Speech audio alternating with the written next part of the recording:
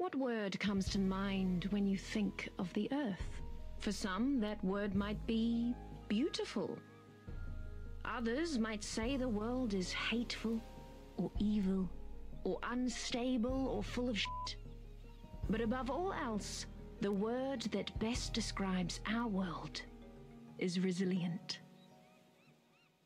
Against the odds, time and time again, creatures adapt to make the most of their given environment.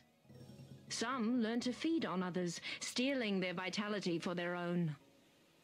Some become scavengers, living off what strangers leave behind.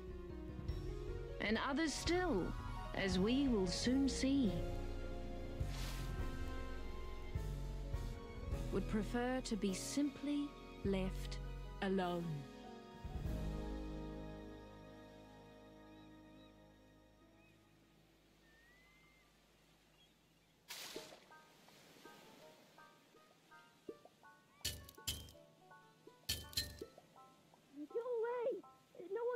Sir, please open up.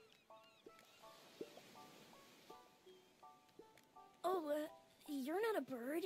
Sir, are you the owner of this residence? You mean my shell? Uh, yeah, it's mine. Do you like it?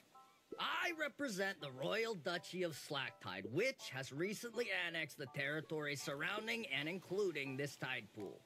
I'm here to inform you that you have outstanding taxes that date back in upwards of 10 tides. If you are presently unable to pay this balance, the duchy will claim your home until Uh, you. hold on. Uh, I've got some questions. First of all, uh, what's a duchy? Also, taxes. Okay, so basically, the Duchess of Slacktide owns this whole area now. And she puts a lot of effort into keeping it safe. So, everyone who benefits from that has to abide by her rules and pay up once per tide. There's still plenty of birds here. I don't know if it's really safe. Look, kid, I don't have time to argue political nuances here. I've got a lot of tax evaders to get through. You gotta pay up right now, or I'm gonna have to repo your property. Got it? Okay, okay. I think I've got a hard kelp or two around here somewhere.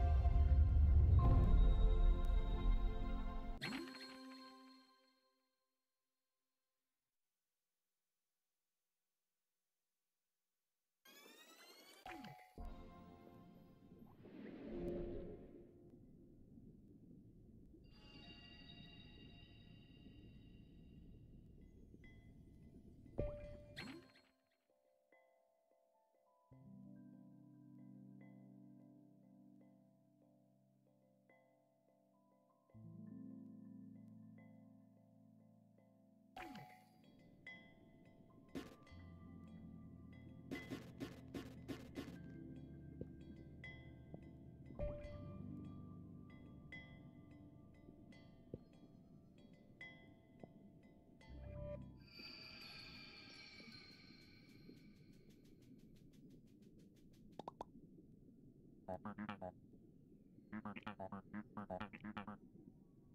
you.